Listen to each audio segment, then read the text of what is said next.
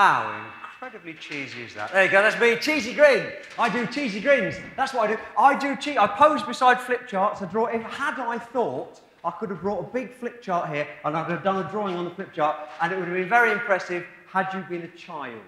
Um, you're not children, so I didn't bother doing that. Um, I didn't want to insult your intelligence, but I do. I do pose by flip charts quite a lot. There you go. There's me posing by flip chart, looking cheesy. Cheesy grin, that's what I do. I pose cheesily by flip charts. There's cheesy flip chart. That, Matt Smith, that's the most popular doctor at the moment. If you ask primary school kids which doctor, shut up. If they want primary school kids, Okay, you're just going to carry on doing that, aren't you? Right. So uh, there you go. Um, me. And uh, one more. I have no idea what's happening with my hair there. Very much a bad hair day. Um, this is uh, me in a school, teaching kids how to do what it is I do for a living. Because I was very lucky. I've been able to turn my hobby into my job and then teach people how to do it. And there's a clue to the hobby and the job. There's my name down there, Kev F, that's me and uh, that's my name on Doctor Strange's underpants, Doctor Strange's pants. In uh, can anybody identify the character, big blue fella at the top left? That's Banana Man.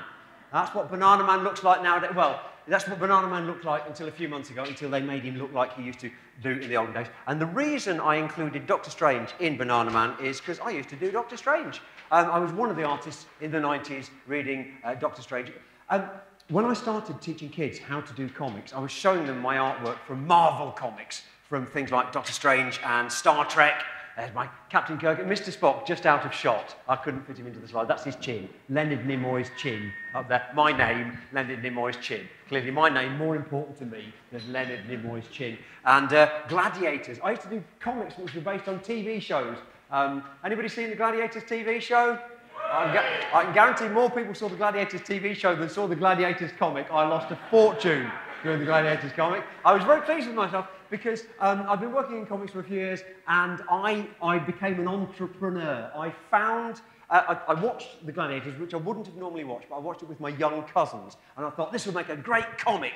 And so I got uh, in touch with LWT. I said, is anybody doing the comic? They weren't. I found a publisher who I'd been working with on some other uh, photo magazines. I brought them together. We made this comic. It sold for shit. It, was, uh, it really didn't work. Um, at the other extreme of uh, publishing, Captain Clevedon is Earth's most parochial superhero. I live in a small town near Bristol called Clevedon. There's Clevedon Pier, um, One Direction just out of shot. But One Direction did film a video recently on that pier. That's the town where I live, and it's the biggest selling. It outsold the Beano that week. Um, tip for anybody in marketing don't make your target audience a town with a population of only 5,000 people only 10% of whom are likely to buy the comic set in their town. Um, it's, uh, it's finite, it's got a ceiling, just a word from the wise there. Uh, so I also work for things like Doctor Who Adventures. I get paid money to draw Daleks. Uh, you can tell that's from 2010 because the Daleks are the wrong shape. Wrong shape Daleks, bad. The Daleks that look like Teletubbies. I got paid to draw those. Um, you're quite right, it's, it's, very cheesy stuff I do. Uh, oh, she's a highway woman, I do her. And, uh, oh yeah, wedding invitations. Anybody wanting to do their wedding invitations? Now I realise, I realise I'm in a room full of illustrators who can possibly draw far better than I can draw. That is naff and that is cheesy. Uh, but it does pay more than uh, the, the big thing that I'm most famous for, which is um, writing and drawing for the Beano. There you go. There's me, writing and drawing.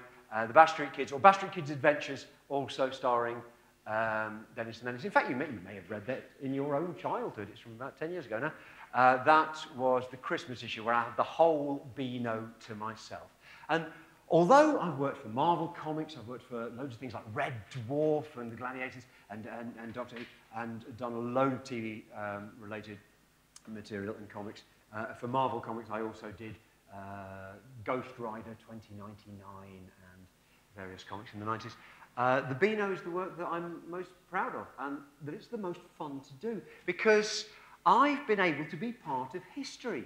I've been able to add to the legend that is Roger the Dodger. Uh, Roger the Dodger, I, I invested in with a character who's, uh, I made him much more uh, conniving, Machiavellian and money-oriented. I, I mean, probably already is, but you know, when you, when you take these characters on and make them your own, you actually get to, well, like the Bash Street Kids, I actually got to give, give the individual Bash Street Kids actual individual characters, which most of the time I feel they don't do. Um, I also, by the way, do a couple of things which you may have seen. The Scottish Falsetto Sock Puppet Theatre. If you've ever seen those at the Edinburgh Fringe, uh, that's, that's, uh, I, do, I know I don't sound like the boys, but the boys are me. And our new show at Edinburgh this year is called Minging Detectives. That's uh, Edinburgh. We'll be on at the Gilded Balloon at 10.30 at night. And I do a show called The Sitcom Trials. I don't know if any of you, anybody think they can write a sitcom? No? You're the first people I've ever met who don't think they could write a sitcom. Uh, the Sitcom Trials is a show that I do where uh, we take the work of uh, writers and we put them on stage, and sitcoms compete head to head, and the audience decide which one they like the best. And that was the final at the uh, Edinburgh Fringe. But uh, this, is, this is amongst the Beano work that I do and I'm most proud of. I, I was the guy who invented the Bash Street werewolves. I was the guy who invented the Bash Street zombies. Now, zombies, pretty much ubiquitous in comics nowadays and in youth culture. But back in 2008, I was worried that the editor, that's him, Alan Digby, the editor of the time, I was worried that he wasn't replying to me when I'd pitched this script, uh, the Bash Street Zombies. I thought, yeah, zombies is a bit too far for the Beano. The Beano, which is read by six-year-olds uh, up to 12-year-olds. And when he did eventually reply, he just said, I apologise for being 28 days late replying. You see what he did there? 28. Wasted. Um, anyway, he's, um, he's a fantastic editor. Um, my favourite um, editors have been the ones that allow the creators to have their creative head. Does anybody read the Beano? Has anybody seen the Beano in the last decade? Excellent. Anybody used to read the Beano, then you stop, stopped reading the Beano when you discovered it was insulting to the intelligence of eight-year-olds? Yeah, me too. But a lot of creators have had the opportunity to do original and inventive work. Jamie Smart, um, Laura Howell, myself, Mike Pierce, and a fellow called Gary Northfield, who's just released a book called Julius Zebra, and previously did uh, Derek the Sheep. They mean a lot if you're nine years old. Trust me, they really do. And uh, the wise editors allowed them to do the work that they thought was great. Um, one of the things that I do, which I think is great, but it might just be pathetic, is I hide my name in the background everywhere. There's me in the Attack of the 50-Foot Nits, and there's my name up there, and there's me. Can you see my name there? The name's hidden there. Can you spot my name? Who spotted my name? Kev Effort. You say it's pathetic, and it really is in the shadows along there. I really do. And just, just so the kids will become fans of my work, but it totally does work. And there's my name hidden down there, and that's where Clevedon is, where Captain Clevedon is. I'm originally Scottish, by the way. Any other fellow Scots in?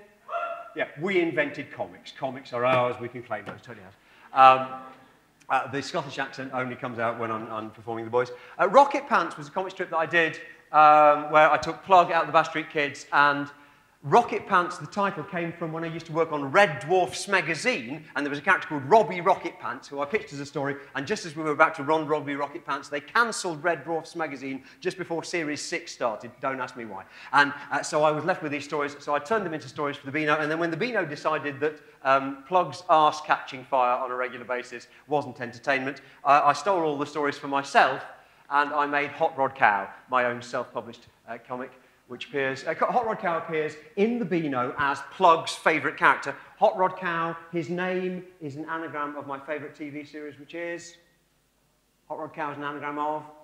Exactly, well done, yes uh, Rod Cow of Doctor Who. And uh, he appeared first of all in the Beano, and then he became my own. Parodies, homages, and pastiches are a thing that I love doing because I think the kids can be, you can flatter the intelligence of, in, of, of children and you can insult the intelligence of children. And I think the latter is to be avoided. Flattering their intelligence, nobody, but nobody who read that edition of the Beano would recognize what I was even doing there. Does anybody recognize which comic I'm paying homage to there?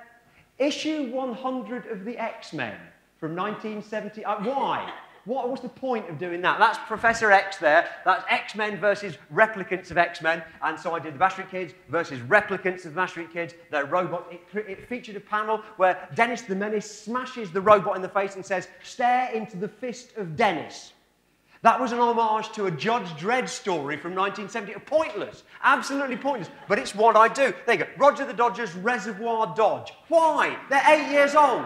There's no reason they will get this. It's because um, comics can work on these levels, and they often do the best comics do. If you've ever read Adventure Time, if you've read The Simpsons at Glastonbury, uh, Miracle Man, he's a parody of, uh, oh God, I've only got 10 seconds left. Okay, well, that was a satire. Google it. And uh, so was that. Pansy Potter, they're hilarious, but you haven't actually got time to read those three strips. Because uh, this is the thing that I was going to talk about, and with one minute, second over time, I'm afraid I can't tell you much about the fact that I go into schools and teach kids how to do what it is I do. I'm evangelical about the importance of comics for the literacy of kids. Kids learn like I did. I had the best reading age in my primary school year because I was reading unnecessarily long words and they were in voice bubbles. So um, I go into schools and kids produce comics. They, they look like these. These are the, the, comics that I produced with kids in the schools. Um, they, each of them, in the space of two hours, has created a comic strip, and then I do a drawing of every single one of their hideous little faces. We run these off on the photocopier, and they take them home. Uh, they come up with these titles themselves. These are titles invented by children, all invented by the... Six Nuns Fighting a Fiery Inferno. I also work in Ireland. That was an Irish comic up there.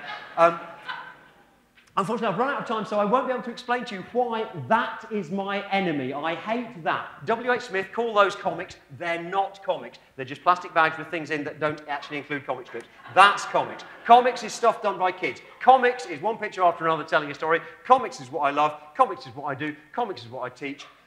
And thank you.